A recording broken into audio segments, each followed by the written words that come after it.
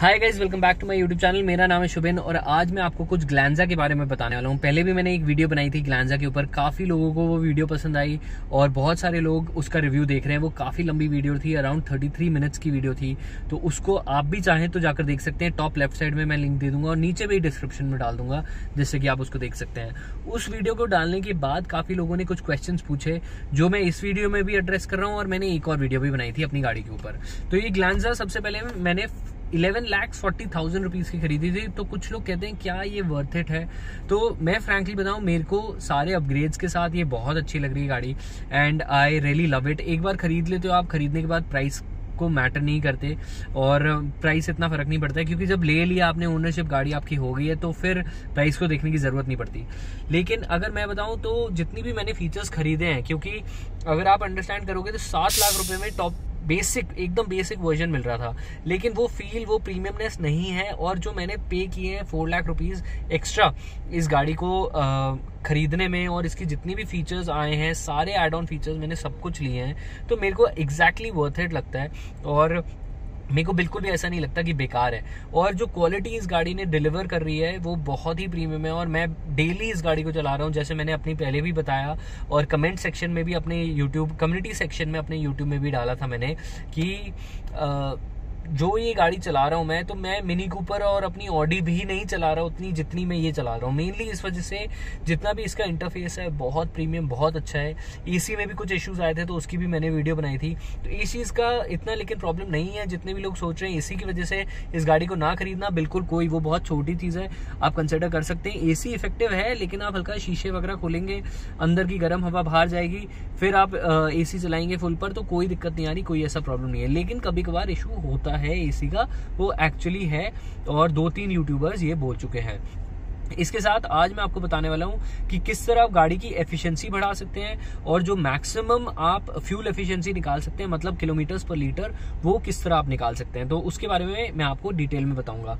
Plus एक जने को मैंने देखा था जिस बंदे ने अराउंड ट्वेंटी का किलोमीटर्स का अप्रोक्सीमेटली एवरेज निकाला है इस पर। उसने थाउज़ेंड किलोमीटर्स गाड़ी चलाई ग्लैंजा और ट्वेंटी किलोमीटर्स के आसपास ट्वेंटी किलोमीटर्स के आसपास एवरेज निकाला है। यहाँ से आप देख सकते हो कि मेरी गाड़ी का एवरेज कितना आ रहा है? अराउंड ट्वेंटी किलोमीटर चल चुकी है। तो आप इधर देख सकते हो, ये 2500 किलोमीटर लिखा है, इतनी चल चुकी है और 15.2 किलोमीटर पर लीटर का एवरेज दे रही है ये यहाँ पर भी पता चल जाता है। प्लस एक जने ने मेरे को यहाँ पर एक और डिटेल मांगी थी। तो आप देख सकते हो, ये पेन ड्राइव है और सिपर्स हैं। मैंने पहले भी सिपर की वीडियो डाली है, अगर आपने सिपर्स नहीं खरीदे हैं तो बिल्कुल सिपर खरीद लीजिए। डिस्क्रिप्शन में मैं एक दो सिपर्स का लिंक दे दूँगा, क्योंकि सिपर्स से आपका पानी का इंटेक बहुत बढ़ जाता है which is very good Android auto के लिए आपको मोटा वाला तार लगाना पड़ता है, पतले तार से एंड्रॉइड ऑटो का काम नहीं चलता है। मैं पतला तार लगा रहा था, एक यूएसबी सी टाइप अपने एंड्रॉयड फ़ोन से कनेक्ट करने के लिए तो नहीं चल रहा था। अब मैंने जैसे पेनड्राइव नीचे कनेक्ट कर दिया एक तो आप देख सकते हो कितनी देर लग रही है पेनड्राइव को इधर कनेक्ट होने में। अप्रॉक्सीमेटली आप देखोगे तो फिफ्टीन से ट्वेंटी सेकेंड्स में यहाँ पर लिखा आ जाएगा यूएसबी कनेक्टेड पहले मेरे को लग रहा था जब भी मैं यूएसबी कनेक्ट कर रहा था, हल्का सा यूएसबी के कनेक्शन में इशू था। आप देख सकते हो इधर यूएसबी कनेक्टेड लिखा आ गया। और एक जम लगाते ही एक वीडियो प्ले होना शुरू हो गई है। एक जने ने मेरे को बोला था कि क्या हम चलते हुए वीडियोस देख सकते हैं? नहीं। वो सिक्योरिटी पॉइंट ऑफ़ व्यू से आप चलते हुए वीडियोस नहीं देख सकते हो। ये एक छोटी सी वीडियो मैं हल्की सी प्ले कर रहा हूँ। तो आप देख सकते हो वीडियो क्वालिटी मेरे को तो एक्चुअली बहुत ज़्यादा पसंद आई वीडियो क्वालिटी कहीं पर भी कोई भी इशू नहीं है। और आप स्टार्टिंग में भी देखोगे तो स्टार्टिंग में जो आपका स्क्रीन सेवर है और लॉक स्क्रीन है, वो भी बहुत प्रीमियम क्वालिटी का है। तो स्क्रीन क्वालिटी ये नाइन इंचेस का है क्योंकि ग्लैंजा वी मॉडल है। इसमें काफ़ी अच्छी है। इधर भी प्ले करता हूँ मैं तो आप देख सकते हो कि काफ़ी अच्छी ये वीडियो की, काफ़ी अच्छी वीडियो क्वालिटी है। कहीं पर भी कोई, किसी भी तरीके की कमी नहीं है और इसको आप आगे भी कर सकते हो। ये एक वीडियो क्वालिटी अगर आपको यहाँ दिख रही हो क्लियरली क्योंकि कैमरा में उतनी क्वालिटी नहीं आ पाती, अब आप देख सकते हो शायद। बहुत अच्छे से तो क्वालिटी बहुत प्रीमियम आती है, ऐसा कुछ भी नहीं है। बहुत अच्छी क्वालिटी है वीडियो की।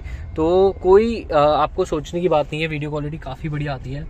और इसी के साथ ही आगे बढ़ते हैं और आपको मैं आगे फ्यूल एफिशिएंसी निकालने के बारे में बताता हूँ। तो मैंने ये देखा है कि ऑटोमेटिक वर्जन में लोगों ने 16.9 से लेकर 17 तक की मैक्सिमम फ्यूल एफिशिएंसी निकाली है। और मैं आपको इस ग्रीन बार के बारे में बताऊँगा, जो ये यहाँ घूम रही है।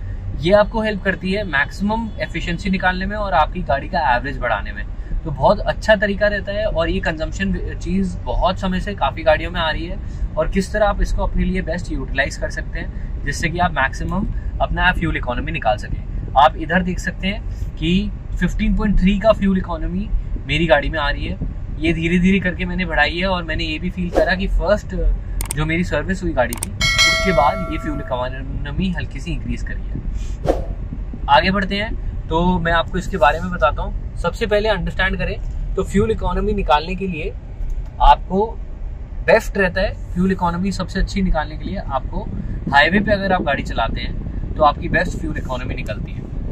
हाईवे में सबसे ज़्यादा आपका फ्यूल एफिशिएंसी आती है क्योंकि ब्रेकिंग कम होती है। आप जितना ब्रेक लगाकर एक्सेलरेट करते हो तो अगर आप इधर देखोगे, मैं एक्सेलरेट करूँगा तो ग्रीन वाली बार जो है, वो कम हो जाएगी। वो इसलिए हो जाती है, देखो, कम हो गई ना?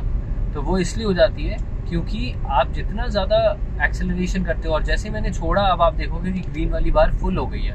क्योंकि ना मैं एक्सेलरेट कर रहा हूँ एक्सेलरेट नहीं कर रहा मतलब कि इंजन के अंदर कोई भी तेल नहीं जा रहा है। अगर इंजन में तेल नहीं जा रहा है तो कंजम्पशन कम हो रही है। कंजम्पशन कम हो रही है तो आपका एवरेज बढ़ रहा है। तो ये एक रूटीन रहता है, जिस हिसाब से आप अपनी एवरेज बढ़ा सकते हो गाड़ी का। तो मैं भी एक्सपेक्ट कर रहा हूँ धीरे धीरे अगर मैं हाईवे पे चलाऊँगा तो लगभग ये एवरेज मेरा सत्रह के आसपास पहुँच जाएगा। ऑटोमेटिक गाड़ियों में कहते हैं कि एम वर्जन में स्पेशली कि कोई फ़र्क पड़ता है और कुछ लोग ये भी कहते हैं और कंपनी भी क्लेम करती है कि ऑटोमेटिक वाली जो ग्लैंजा है, वो आपकी मैनुअल से ज़्यादा एवरेज देती है। लेकिन ये ड्राइविंग स्टाइल पे बहुत डिपेंड करता है। अगर आपका ड्राइविंग स्टाइल बहुत अच्छा है तो आप मैनुअल में डेफिनेटली ज़्यादा एवरेज निकाल पाएँगे as compared to the automatic car automatic में अगर देखेंगे तो 16.9 से 17 तक का आपको एवरेज मिल सकता है प्रोवाइडेड आप हाईवे में चलाएँ। और सिटी में जैसे मैं ट्राई कर रहा हूँ, अभी तक मेरी गाड़ी अप्रोक्सीमेटली 2000 किलोमीटर के आसपास चल चुकी है। और 2000 किलोमीटर काफ़ी एक अच्छा पीरियड रहता है ये बताने के लिए कि आपकी गाड़ी क्या एवरेज दे रही है। ऐसा नहीं है कि मेरी गाड़ी कम चली है। तो इसके साथ आ, हमारी गाड़ी का एवरेज 15.3 आ रहा है तो मैं एक्सपेक्ट करता हूँ कि सिटी में मैं खूब चलाता हूँ हल्का सा सेमी हाईवे पे भी चलाता हूँ तो उस हिसाब से 15.3 के आसपास मेरा एवरेज आ रहा है इधर। आगे देखें अगर तो अगर यहाँ पर आप देखेंगे जो एवरेज है नीचे 469 किलोमीटर जो लिखा आ रहा है ये है कि टोटल रेंज कितनी है मेरी गाड़ी कितना चल सकती है। अगर मैं अच्छे से चलाऊँगा तो ये सिंपली ऐसे ही कैलकुलेट होता है कि आपकी आपकी जो टंकी है उसमें कितना लीटर तेल है और वो लीटर तेल into the kilometres per litre जो चल सकता है। तो वो ये जज करता है, उससे मल्टीप्लाई कर कर आपका ये निकलता है कि आपकी गाड़ी कितने किलोमीटर चल सकती है। तो अगर आप देखेंगे, अभी 15.3 किलोमीटर पर लीटर है। अगर इसको मैं 15.4 कर देता हूँ अच्छी तरीके से गाड़ी चलाकर तो आप नीचे देख सकते हो, जैसे 469 से ये 470 हो गया। इसका मतलब ये है कि 460 होने पर 469 से 470 होने का ये मतलब है कि अब क्योंकि फ्यूल एफिशिएंसी बेटर हो गई और धीरे धीरे एवरेज मेरा इंक्रीज हो रहा है तो उसने रेंज बढ़ा दी। मतलब तेल तो कम हुआ है, लेकिन मैं गाड़ी अच्छे से चला रहा हूँ तो एवरेज ज़्यादा अच्छा निकलेगा।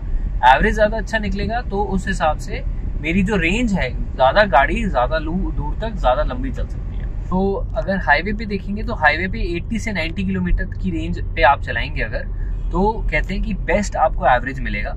और जिस एक जने ने रिव्यू दिया था अप्रोक्सीमेटली 17 किलोमीटर्स पर आर का 17 किलोमीटर्स पर लीटर का उसका जो एवरेज आ रहा था, वो हाईवे पे उसने क्रूज कंट्रोल लगाकर चलाया तो वो काफ़ी बेनिफिशियल रहता है। क्रूज कंट्रोल होता है कि आपकी गाड़ी को फिक्स कर देते हैं सेट कर देते हैं कि वो 70 से 80 किलोमीटर की रेंज में चलती रहे।